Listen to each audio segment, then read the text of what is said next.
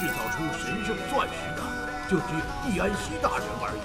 蒂安西，就由我们接收了。乌尔尼亚斯的妖精起源一定能够让您的真实力量觉醒。小蜘蛛们能否夺回神圣的钻石光辉呢？